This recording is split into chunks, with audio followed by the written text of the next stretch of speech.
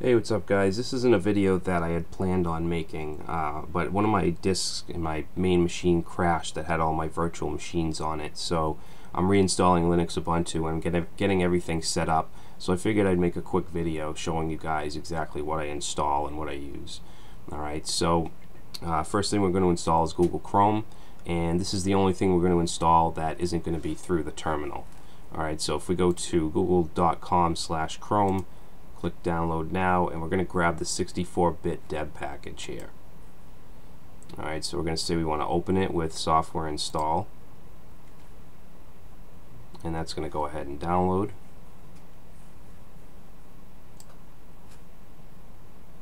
Alright so that should open. Okay so now we're just going to click install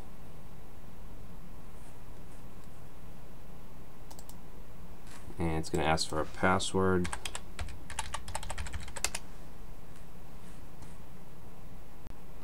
Alright so that should be all set. Let's close that up. And now if we go up here and wow why is this so slow? We want to search for Chrome and you can see it just pops right up. So I'm gonna just grab this and bring it over to the sidebar here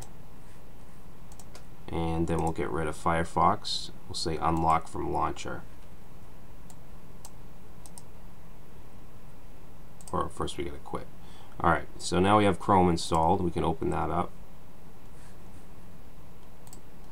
And yes, I want to make it my default browser, but I don't want to send stuff to Google. Okay, so now that that's set up, let's um, let's remove this stuff. I'm not going to use the LibreOffice or anything like that. I'm going to get rid of these. And let's see, I'll leave the software installer, get rid of Amazon, and I'll leave the settings. Uh, let's see, let's continue. I don't know why it does that. So now we're going to install a program called Terminator, which is um, an alternate terminal you can use. I'm going to just open up the default terminal to do that. So from here, let's do sudo, so we can run it as root, and then apt-get update.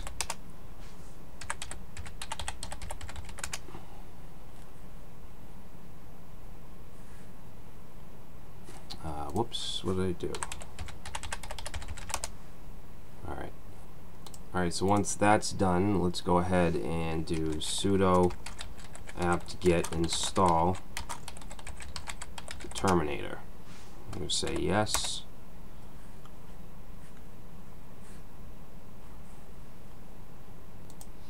Alright, so that took about a minute or so, and I'm pausing it when that's running, so you know, don't be alarmed if, um, if yours is way slower. So we have Terminator installed, so I'm going to close this up, and let's go ahead and search for that right here, and I'm just going to bring that over and put it right there.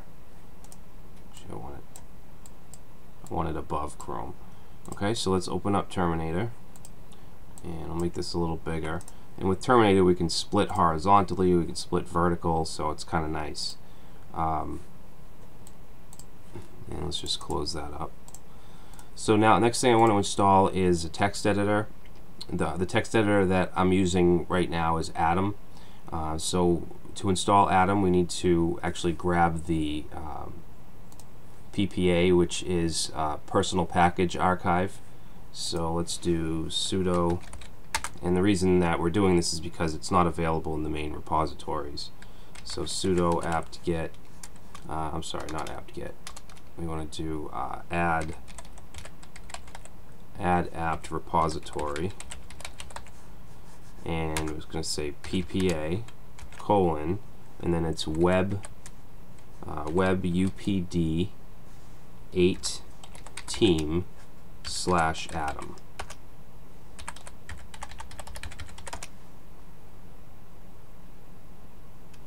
Okay, uh, let's see. Now available 32-bit. Let's press enter. Okay, so now we're going to do another update.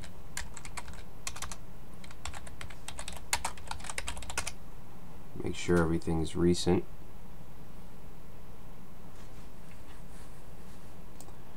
Alright, so now that that's done, we should now be able to do sudo apt-get install atom. Say yes. Alright guys, that took about two minutes or so. Now we should have Atom installed. If we go and search for it, and I'm just going to bring it over right here. Okay, so now we have a text editor. So the next thing we're going to install is Node.js. So let's go over here and let's just say uh, install node Ubuntu.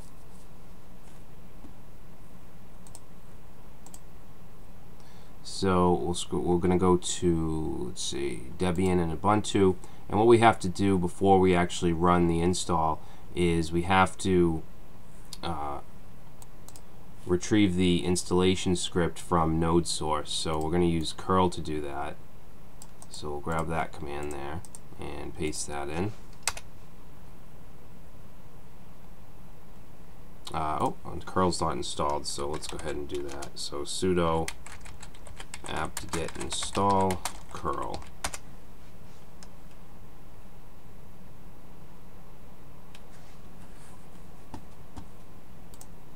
Okay, once that's done, we'll go ahead and run that command again.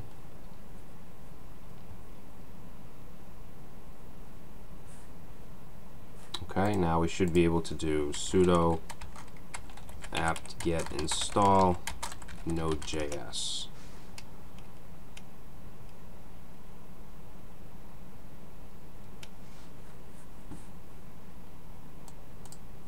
Alright, so now Node should be installed. Let's do Node.js v, and you see we have version 6.10.0, and let's also do npm v, make sure that's installed.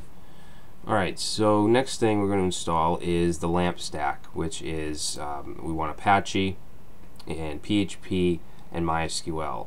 Alright, so let's first do Apache, so I'm going to say sudo apt-get install Apache 2.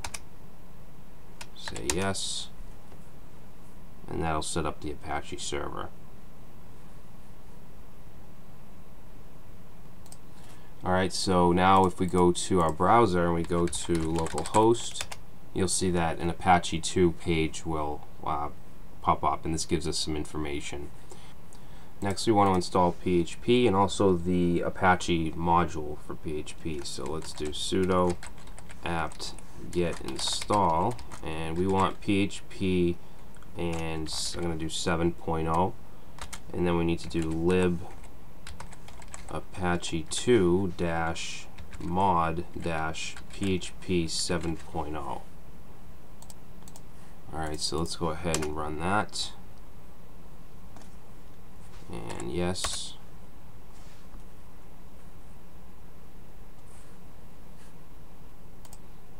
guys so that's done now we want to install MySQL so sudo apt get install mysql dash server so let's run that yes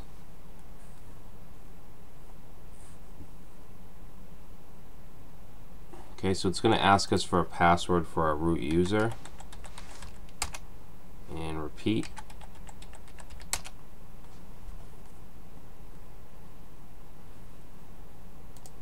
Alright, so that took about a minute and a half. Now what I'm going to do is restart our Apache server. So we're going to do sudo slash etc slash init.d slash apache 2 and then restart and that'll restart the service for us. Okay. So if we want to test this out and see, make sure that PHP can get parsed and so on, we're going to cd into uh, slash var slash www slash html. Okay, and this is our, our web root. So let's create uh, a new file. We'll say touch index.php uh, permission denied we need to do sudo Okay, and then let's do sudo nano index.php and let's put in our PHP tags and just echo and we'll say uh, hello. Okay, we'll go ahead and do control X and then yes to save and then if we go back to our local host Alright, and the reason this is still showing is because there's an index HTML file in that directory. If we do ls, you'll see it. So let's delete that. We'll do sudo rm index.html. Alright, so now that that's gone, we reload and we get our hello. Okay, so now that we have the LAMP stack set up, we're going to move on and I'm going to install FileZilla, which is an FTP client, so that we can connect through FTP to uh, outside servers. So for that, sudo apt-get install FileZilla. Say yes.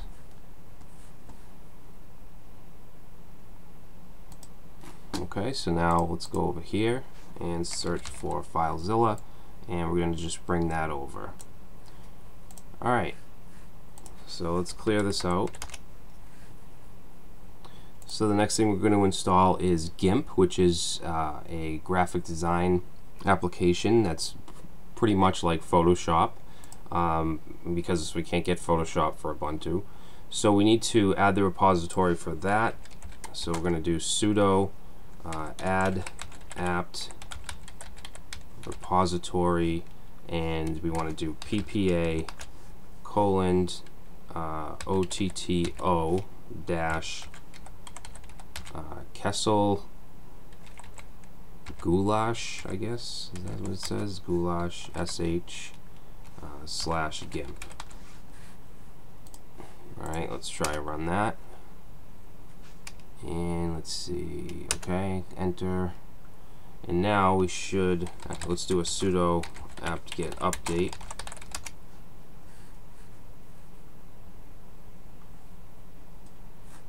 And now we should be able to do sudo apt-get install gimp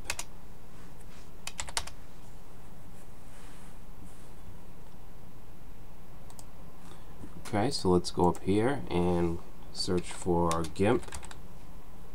There it is. Let's bring it over. And that's that. And just to make sure it works, there we go. So it's a it's a program that's similar to Photoshop, uh, a little more minimalistic. All right, so I'm not going to go over anything in that program. Maybe I'll do a tutorial on it later. Um, so that's pretty much it as far as DevTools. Um, now what I'm going to do is just change the backdrop and I have in pictures my wallpaper and we're just going to do set as wallpaper and then I also want to install the, uh, the what is it the Unity tweak tool. And that allows us to do some things that we can't do with the regular settings um, such as I like to change this color of the the launcher here. And you can change the icon size things like that. So let's do sudo apt get install. And it is uh, the Unity tweak tool.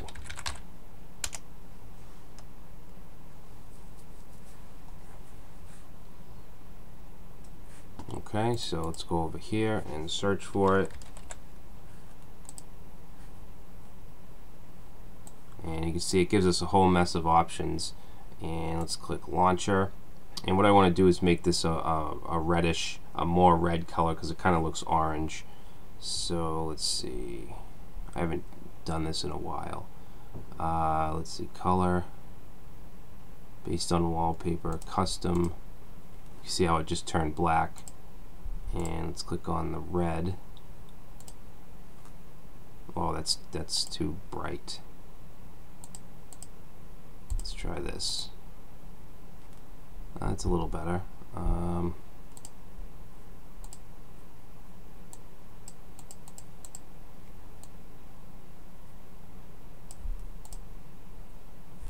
no. Actually, you know what? Let's just make it black.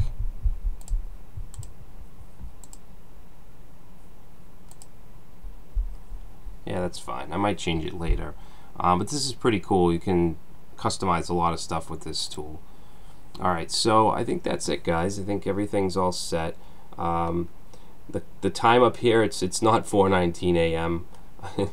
that's actually, I think that's Pacific time. It's actually 7.19. Um, so let's change that. And let's see, I'm going to change this to, I guess if I just do New York, that should work. Alright, so now it's changed. Alright guys, so that's it. The machine is ready to go, ready to start making some more videos and tutorials. So thanks for watching, and I will see you next time.